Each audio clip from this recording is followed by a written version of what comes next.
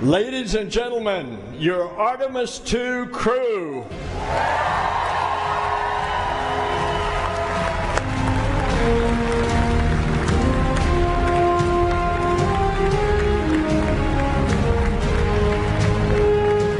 Logging the longest continuous space flight ever by a woman, your mission specialist, Christina Hammock Koch.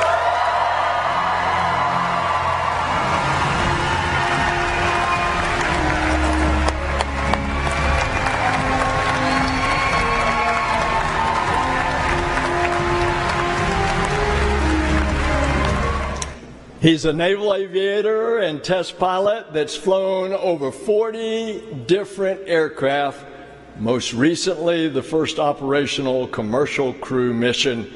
Your Artemis II pilot, Victor Glover.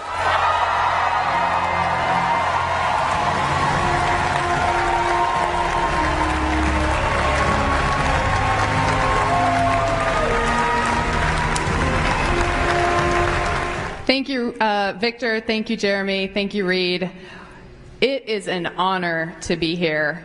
I also want to thank our families, the Trailblazers, our colleagues, and our leadership. My fellow astronauts know that one of the questions we get all the time is, Are you excited? And I can tell you, when I think about this mission that's a relay race with international partners, it's also so awesome in and of itself. Wow, what a day. Look at all of this. This is amazing, isn't it? I mean, after all of that, I feel like Denzel Washington should be up here talking to you. But you just got us. I want to thank God for this amazing opportunity. And I, I, think I speak for all of us. I want to thank our families for the amazing support. It is your love and support that has made this journey possible. Please give them a round of applause.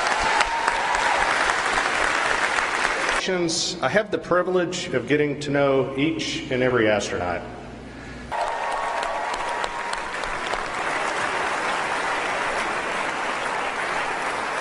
Our mission